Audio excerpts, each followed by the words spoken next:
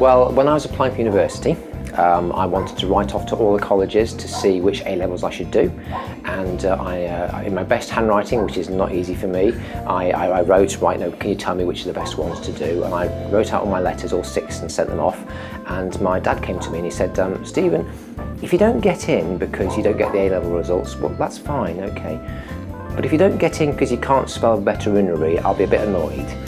I realised I'd actually spent it wrong on every single application form. So ever since then, I now know how to spell veterinary. so I'm probably most allergic to rabbits. Um, after that, dogs and cats. Um, I mean, I'm fine in here. I have antihistamine tablets and nasal spray and eye drops and things. If I have that, I'm fine. Um, my daughter hasn't forgiven me yet because I don't have any pets at home. I have, um, oh, it's not quite true. I've got three wooden fish, a wooden crocodile and a wooden cat. And that, that's the extent of my pets at home, I'm afraid.